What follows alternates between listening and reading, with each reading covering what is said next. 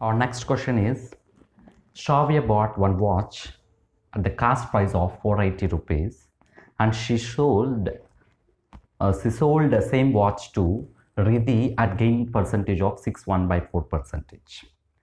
So selling price of Shravya will be equal to cost price to the Riddhi. Why? Because how much amount she paid that is the selling price for Shravya. So here we need to find after that Riddhi sold a 10 percentage of gain to the Divya then selling price of Riddhi will be equal to cost price to the Divya. So based on that we're going to find what is the cost price they are given right and gain percentage. So Shravya gain percentage is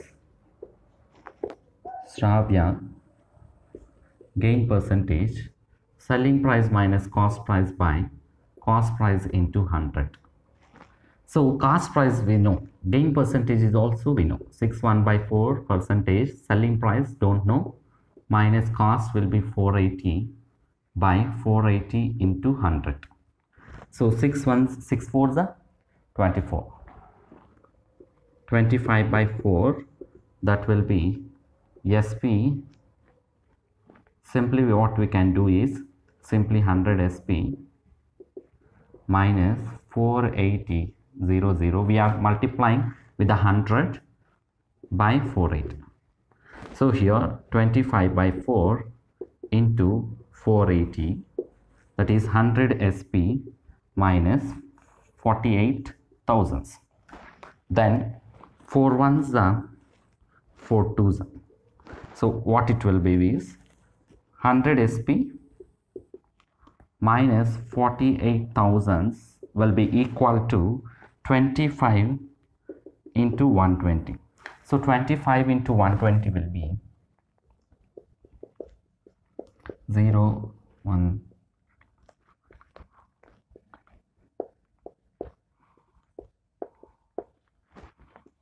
so that is 3000 so 100 sp will be equal to 3000 plus 48000 so 100 sp will be equal to 3000 plus uh, 48000 will be that will, will be 51 thousands. So sp will be what is the selling price? That is sp will be equal to 51 thousands by 100 two zeros two zeros will cancel. So selling price that will be equal to 510 rupees. So selling price of uh, that is Shravya selling price of Shravya will be equal to cost price to the Riddhi. So that is cost price to Riddhi. So cost price of Riddhi will be equal to cost price to Riddhi will be equal to 510 rupees. So we find we found that the cost price to the Riddhi is 510 rupees. Then cost price, selling price of Riddhi, Riddhi also got, Riddhi got gain percentage 10, 10 percentage. So we know cost price of Riddhi and we have, we know gain percentage. Then we can calculate selling price of Riddhi that will be cost price to the Divya. So gain percentage again same formula sp minus cp by cp into 100 that is 10 will be equal to selling price.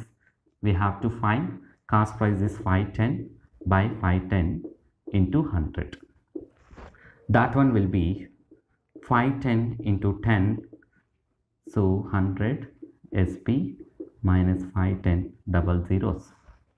Then 51 5100 100 SP minus 51 thousands. Then what it will become? 100 SP will be equal to 5100 plus 51 thousands. This one will be 00165 that is 100 SP. So what it is is selling price 5 ones 561 double zero by 100 that is 561 rupees so selling price of Riddhi to Divya is selling price of Riddhi will be equal to cost price to Divya. So we have to find what is the cost price to Divya only. So cost price to Divya, cost price to Divya will be equal to 561 rupees. So Divya need to pay 561 rupees to the Riddhi. Riddhi need to pay 510 rupees to the Shravya. Like this, this is like some chain uh, problem. Uh, so please uh, give thumbs up if you like the video. Please subscribe and don't forget to